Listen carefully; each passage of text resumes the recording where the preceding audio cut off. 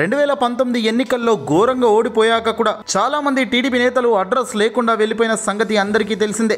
జగన్ దెబ్బకు టీడీపీ నేతలు కంటికి కనిపించడమే లేదు. అయితే ఇప్పటికే కొందరు టీడీపీ నేతలు వైసీపీలోకి వెళ్ళిపోయారు అలాగే కొందరు బీజేపీలోకి చేరిపోయారు. కానీ కొంతమంది మాత్రం నియోజకవర్గాల్లో యాక్టివ్గా ఉండటమే మానేశారు. ఈ జగన్ వేవ్లో ప్రస్తుతం నెట్టుకు రావడం కష్టమని చెప్పి సైలెంట్గా కూర్చుంటున్నారు. అయితే ఎన్నికలై ఏడాది దాటినా కూడా కొందరు నేతలు అసలు బయటకు రాకపోవడంతో టీడీపీ అధినేత చంద్రబాబు కొన్ని చోట్ల నాయకులను మార్చడానికి సైతం సిద్ధమైనట్లు తెలుస్తుంది. ఇప్పటికే ఖాళీగా ఉన్న నియోజకవర్గాల్లో కొత్త ఇన్ఛార్జీలను నియమిస్తున్నారు. అలాగే నియోజకవర్గాల్లో యాక్- యాక్టివ్గా లేని నేతలని పీకి పారేస్తున్నట్టుగా తెలుస్తుంది. అయితే ఆ ప్లేస్లో కొత్త నాయకులను పెట్టాలని కూడా చంద్రబాబు గారు చూస్తున్నట్లుగా అర్థమవుతుంది. ఈ క్రమంలోనే కృష్ణా జిల్లాలో ఎన్టీఆర్ పుట్టిన నియోజకవర్గం పామూరులలో కూడా కొత్త నాయకత్వం రాబోతున్నట్టుగా సమాచారం. పామరు నియోజకవర్గం రెండు వేల తొమ్మిదిలో కొత్తగా ఏర్పడింది. ఇక ఆ వెంటనే జరిగిన ఎన్నికల్లో కాంగ్రెస్ అభ్యర్థిని డివై దాస్ టీడీపీ నుంచి పోటీ చేసిన ఉప్పలేటి కల్పనపై విజయం సాధించారు. ఇక రెండు వేల పద్నాలుగు ఎన్నికల్లో కల్పన వైసీపీలోకి వెళ్ళిపోయి ఆ పార్టీ నుంచి పోటీ చేసి టీడీపీ అభ్యర్థి వర్ల రామయ్యపై కేవలం వెయ్యి ఓట్ల లోపు మెజారిటీతో గెలుపొందారు. అయితే కల్పన తర్వాత టీడీపీలోకి వచ్చేశారు. రెండు వేల పంతొమ్మిది ఎన్నికల్లో ఆమె టీడీపీ నుంచి పోటీ చేసి వైసీపీ అభ్యర్థి కైల అనిల్ కుమార్ చేతిలో చిత్తుగా ఓడిపోయారు. అసలు ఓడిపోయిన దగ్గర నుంచి కల్పన నియోజకవర్గంలో పార్టీని అసలు పూర్తిగా పట్టించుకోవడమే లేదట.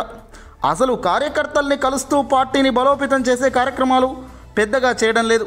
ఇప్పటికే అక్కడ ఉన్న టీడీపీ క్యాడర్ కల్పన నాయకత్వంపై అసంతృప్తిగా ఉన్నారు. దీంతో ఆమెని పక్కన పెట్టి మళ్ళీ వర్లరామయ్యకు నియోజకవర్గ బాధ్యతలు ఇవ్వాలని పామర్రు తమ్ముళ్ళు కోరుతున్నారు.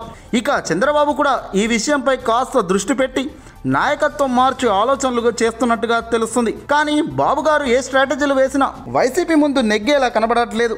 ఎందుకంటే ప్రస్తుతం అధికార పార్టీగా ఉన్న వైఎస్ఆర్ సిపి ప్రజల్లో మంచి పేరు సాధిస్తూ ముందుకు వెళ్తుంది. జగన్ గారు వేసే ప్రతి అడుగులో గెలుస్తూ ముందుకే వెళ్తున్నారు. ఎక్కడా కూడా ప్రజల్లో వ్యతిరేకత లేదు. జగన్ గారు చెప్పిన మాట తూచ తప్పకుండా అమలు చేస్తూ ముందుకు వెళ్తున్నారు. ఆనాటి బాబులాగా చెప్పిన మాట గంగలో కలపలేదు. చెప్పింది చెప్పినట్టు చేస్తూ ప్రజల గవర్నెన్స్ అంటూ ముందుకు సాగుతున్నారు. అయితే చంద్రబాబు గారు గతంలో చేసిన తప్పులే నేడు ఆయన కొంప ముంచేశాయని చెప్పాలి. ఇప్పుడు స్ట్రాటజీలు అంటే ఏం పనిచేస్తాయి చెప్పండి అంటున్నారు వైసీపీ నాయకులు.